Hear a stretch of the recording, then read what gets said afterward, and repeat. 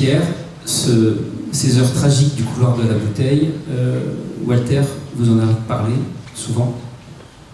Oui, bien sûr, les hommes euh, parlent souvent de leur souffrance. Et il est vrai que Walter a beaucoup souffert. Je ne parle pas physiquement, parce que la souffrance physique compte face à une souffrance du cœur beaucoup plus profonde qu'il a marqué toute sa vie. À tel point, je me suis permis souvent de lui dire, mais notre amitié me le permettait sans doute, qu'il fallait tirer un trait sur ce drame épouvantable qu'il a vécu et qui a marqué profondément sa vie et le futur. Il l'a finalement compris à une certaine époque. Il m'a dit Pierre, on n'en parlera plus, je garde ça pour moi. Moi, ce qui m'intéresse en réalité dans ce débat, puisqu'on en parle et qu'on vient de lire des lignes écrites par Reynolds et qui sont très belles parce qu'elles traduisent incontestablement ce que Walter a ressenti. Quand je dis traduire incontestablement, c'est parce que les deux hommes sont les mêmes. Leur réaction en face de la douleur, de la souffrance est totalement identique. Et c'est parce qu'ils réussissent encore une fois en montagne, qui sont exceptionnels. Aujourd'hui, encore mieux. Mais ce sont avant tout des hommes qui vivent, qui ont un esprit qui tourne, un cœur qui marche. Ma terre a beaucoup souffert. Reynolds a beaucoup souffert. Peut-être que Reynolds, d'ailleurs, a été d'une plus grande discrétion sur cette même souffrance, identique encore une fois. Ils se sont grandis l'un et l'autre, voilà ce que je peux dire. J'en ai beaucoup parlé avec Walter, et je l'ai conduit peu à peu à comprendre que ça ne devait pas être la ligne unique de son existence. Il l'a compris, et aujourd'hui, on peut lui rendre hommage, justement parce qu'il l'avait compris. Du moins, c'est l'analyse que je me permets modestement de faire. Peut-être Marie-Christine, pour ceux qui n'ont pas une culture euh, himalayenne s'y fournir, rappeler quand même les circonstances de ce fameux bivouac dans le couloir de la bouteille.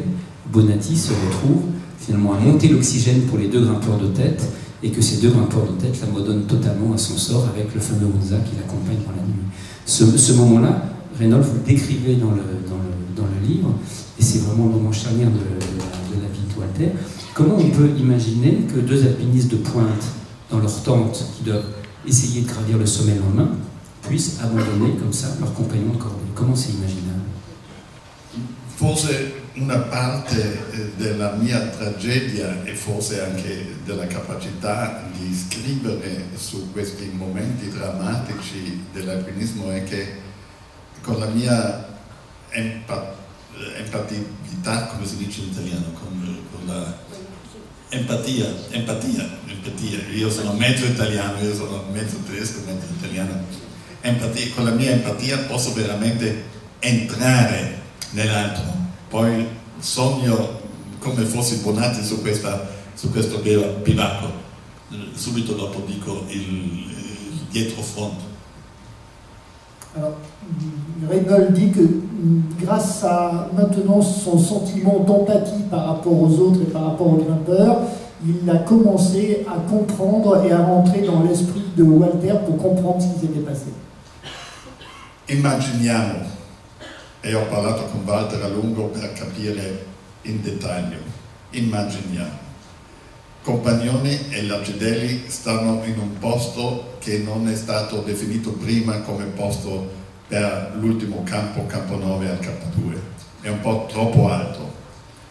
Bonatti non riesce, eh, facendo il salto dal campo settimo, campo ottavo, campo nono, in un colpo, con 15 kg sulle spalle per l'ossigeno, con un Madi, Monza, non arriva a questo campo e si ferma 100, anni, eh, 100 metri più o meno sotto in un traverso in una posizione molto precaria, molto pericolosa.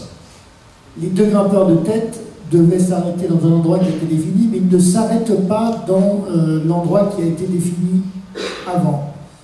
Bonatti, lui, vient euh, du camp inférieur, il vient du camp 7, il doit donc en une seule fois franchir le camp 8 et monter jusqu'au camp 9. Simplement, il est chargé avec euh, beaucoup de matériel et de l'oxygène, donc il ne parvient pas jusqu'à exactement au camp 9, il est juste dessous, dans une traversée très délicate où il est bloqué par la tempête.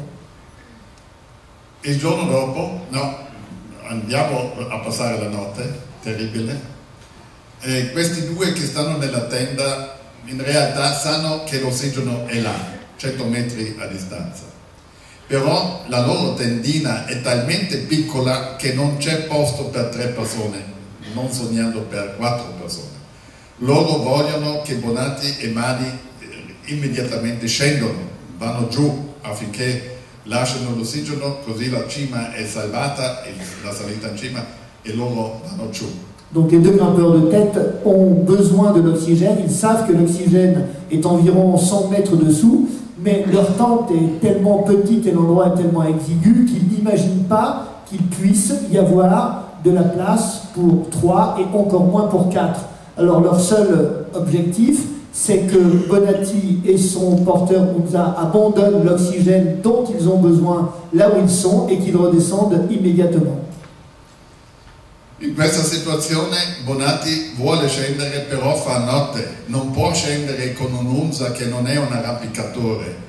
Allora si fermano, non c'è altra strada se vuole salvare questo uh, Unza e uh, vuole anche che questo ossigeno non va, non va, perso di notte perché una slavina o vento o anche una nevicata copre l'ossigeno. Lui vuole e dà tutto per salvare la possibilità di andare in vetta agli altri due che fino adesso hanno fatto di tutto per non farlo entrare nel loro posto di bivacco. Alors, Bonatti à ce moment-là se trouve devant une position très ambiguë. Il a besoin de descendre, il doit descendre, mais il sait que son porteur, Unza et beaucoup de porteurs en Himalaya comme ça, n'a pas la technique, n'a pas la capacité pour redescendre, surtout dans des conditions difficiles, et il veut également préserver la possibilité des grimpeurs, donc de l'expédition, de parvenir au sommet du K2. Donc il ne peut pas abandonner les bouteilles d'oxygène là où elles sont, parce que si les bouteilles d'oxygène se retrouvent euh, ensevelies sous une coulée ou tombent, c'est la fin des possibilités d'atteindre le sommet pour les deux grimpeurs. Et les deux grimpeurs qui sont au-dessus, qui sont probablement conscients qu'en dessous d'eux, il y a Bonatti et son porteur, eux, bien entendu, n'ont absolument pas du tout, du tout, du tout l'intention de les laisser avec eux dans la tente. Walter Bonatti e Hunza Mada sono costretti in questo momento a passare la notte in questa situazione, sotto i seracchi, sotto la neve che lentamente dal vento viene buttata giù. Eh, non hanno l'ossigeno perché eh, non hanno la maschera, non possono usarlo per avere più caldo, non hanno la tenda, non hanno il sacco da bivacco, non hanno niente e tentano per la sopravvivenza di sopravvivere una notte fra 35 e 40 gradi sotto zero. Donc ils se trouvent dans une situation qui est assez dramatique puisqu'ils sont à plus de 8000 mètres d'altitude, ils n'ont pas de sac de couchage, ils n'ont pas de tente, ils n'ont pas de vivres, bien entendu ils n'ont absolument pas de réchaud et ne peuvent même pas, comme cela aurait pu être possible, ils ne peuvent pas utiliser l'oxygène car ils ont des bouteilles d'oxygène mais ils n'ont absolument pas de masque. Donc leur situation est tragique, la tempête les empêche de redescendre et ils sont obligés de rester là sur place et de bivouaquer dans des conditions absolument incroyables, dramatiques, tout en sachant qu'à 100 mètres de là, il y a une tente avec deux personnes. Non la fortuna, la, un miracolo. Bonatti sopravvive questa notte, anche i Monzamadi.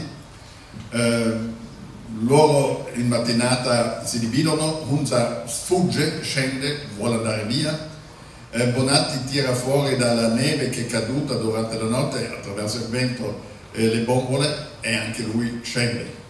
E gli altri due, con un grande successo nazionalistico naturalmente anche, arrivano con questo ossigeno portato da Unza Mali e da Bonatti arrivano alla cima e ridiscendono con grandi difficoltà, ma portano la vittoria del K2 in Italia. Donc, euh, par vraiment un miracle à cette altitude avec des températures qui sont de l'ordre de moins 30, moins 35 degrés pendant toute la nuit.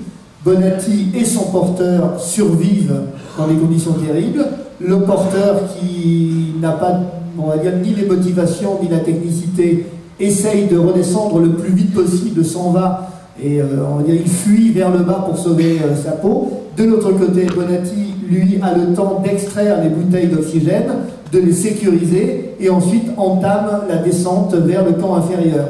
C'est avec, bien entendu, le travail de Bonatti, de son porteur Munza, que les euh, grimpeurs situés dans la tente au-dessus, qui n'ont pas bougé, récupèrent les bouteilles d'oxygène. Avec ces bouteilles d'oxygène, ils réussissent à gravir le sommet et euh, la grande victoire de l'ascension du K2 par une expédition italienne, puisque c'était le grand sommet euh, de 8000 Italiens qui a été réalisé, a été fait vraiment uniquement grâce à Bonatti et à l'oxygène qu'il a amené à plus de 8000 mètres, on va dire au péril de Seine. La tragedia non è ancora incominciata. Ritornano in Italia, il capo spedizione Desio, nazionalista, eh, vuole avere una spedizione italiana con un grande successo e al massimo una cordata di eroi che è andato in cima e Walter Bonatti viene dimenticato. Donc lorsqu'il sur le terrain, euh, c'est une expédition comme les autres, la tragédie n'est pas encore, on va dire, commencée d'un point de vue euh, sociologique. Mais au retour, euh, le chef d'expédition, qui est un petit peu, euh, on va dire, nationaliste, je ne sais pas comment le traduire d'un point de vue politique actuel, veut que cette expédition et ce succès, mais je pense que ça a été la même chose dans toutes les expéditions de cette époque-là, en France ou en Angleterre, veut que ce soit une expédition unie avec deux grimpeurs qui ont fait de l'alpinisme héroïque, qui sont arrivés au sommet comme pour amener le drapeau italien, qui sont des héros, et gomme absolument totalement le rôle absolument prépondérant de Bonatti qui a été quand même à la base de, du succès en amenant l'oxygène et le matériel en altitude et que les deux grimpeurs de tête ont bien entendu laissé à son sort, tout en sachant qu'il pouvait très bien mourir sur place pendant le bivouac. Bonatti sa che lui ha dato non soltanto il massimo, che lui, lui ha salvato la spedizione, Bonatti sa che nessuno gli ha dato dopo questo suo lavoro una botta spalle, sulla spalla a dire grazie Walter che ci hai salvato la cima.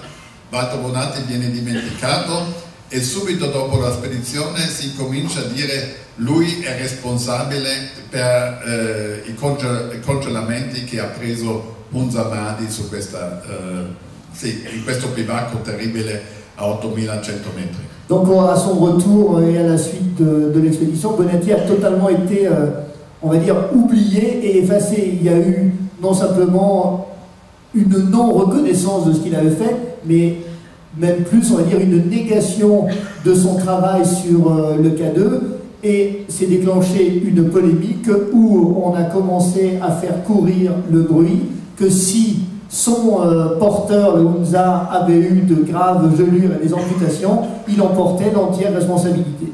Et pour lui, ça a été très très dur.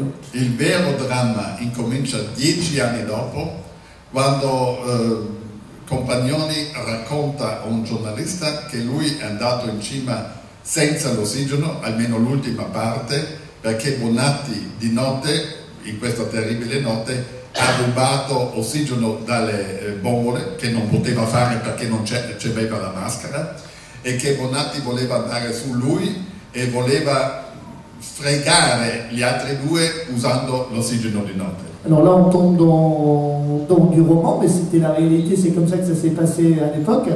Euh, un des alpinistes de tête parvenus au sommet du K2 raconte qu'il est parvenu au sommet sans utiliser de l'oxygène et qu'il n'a pas pu utiliser l'oxygène parce que Walter Bonatti avait dérobé une bouteille d'oxygène et avait fait une manipulation pour lui essayer d'aller au sommet du K2 au détriment des deux autres. On est dans du psychodrame euh, de télé. E questo è andato avanti per 50 anni quasi, Compagnoni sempre andava eh, con meno ossigeno verso la vetta perché Walter Bonatti avesse rubato sempre di più.